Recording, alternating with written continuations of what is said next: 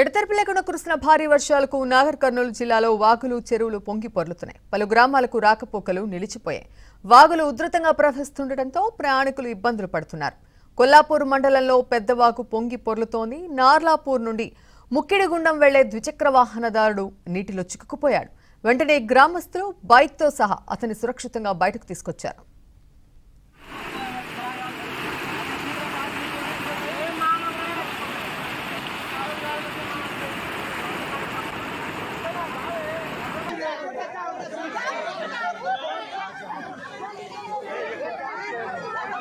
కోడేర్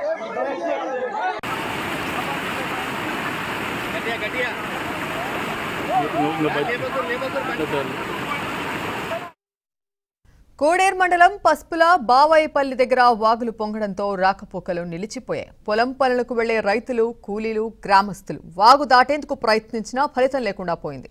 గత కొన్నేళ్ళుగా ఇవే పరిస్థితులు ఎదుర్కొంటున్నామని గ్రామస్తులు చెబుతున్నారు ప్రతి ఏటా వర్షాకాలం వస్తే వాగులు దాటే పరిస్థితి లేకపోవడంతో పాఠశాలకు వెళ్ళే విద్యార్థులు ఇళ్ళకే పరిమితమవుతున్నారు. పాలకులు మారుతున్నా తమ సమస్య తీరడం లేదని గ్రామస్తులు వాపోయారు. ఇప్పటికైనా వాగులపై వంతెలను నిర్మించాలని గ్రామస్తులు కోరారు.